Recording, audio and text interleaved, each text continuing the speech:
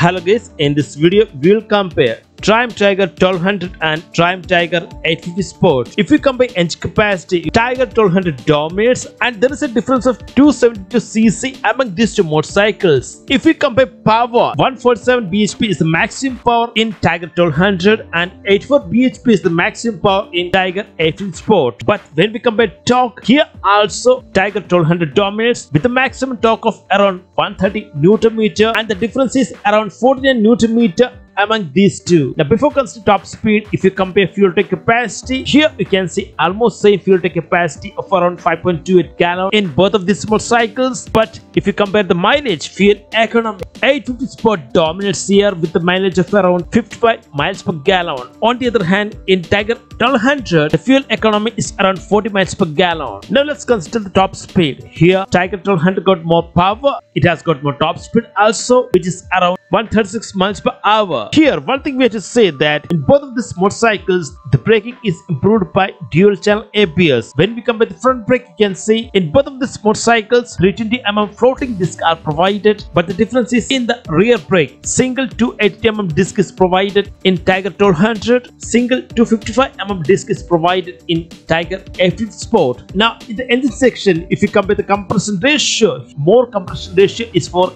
Tiger 1200 that really boosts the performance in terms of power and also top speed. In both of these motorcycles, the engine is cooled using liquid cooling and in both of these motorcycles, 6-speed manual transmission is provided. Now come to dimension, more coverage is for Tiger 1200 which is around 245 kg if you compare the seat height, here more adjustable is for Tiger 1200 starting from 850 to 877 millimeter. If you do comparison of wheelbase, here also Tiger 1200 dominates with a small margin only. Now if you are interested in tire specification on the screen you can see the front tire specifications of these two motorcycles and second on the screen you can see the rear tire specifications of Tiger 1200 and 850 Sport. Now finally guys when we compare the price you can see Tiger 1200 got more power more torque, more top speed, and yes, you have to pay the price. Also, here it's around $19,000, and there is a difference of more than